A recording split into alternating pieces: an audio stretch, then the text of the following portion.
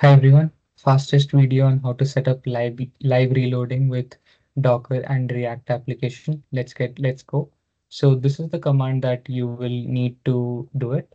It's docker run detach with port uh, your uh, local to the port on uh, Docker, and then you'll have to set up volume with the pwd uh, into app. So pwd into app essentially is mounting the current working directory uh, into React app.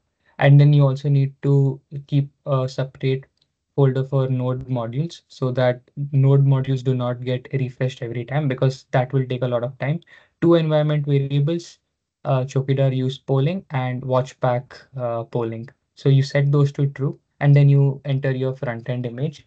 So Chokidar use polling enables file change polling, uh, which is necessary for hot reloading. And the other one watchpack polling is another environment polling that you need. So watchpack is because React uses uh, the Webpack bundle.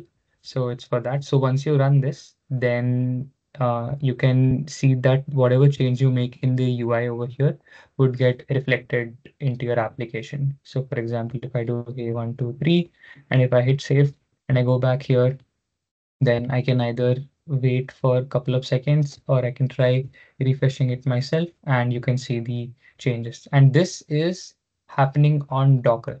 This is not a local, uh, it's not running locally. It's happening through the Docker container. Thank you and have a nice day.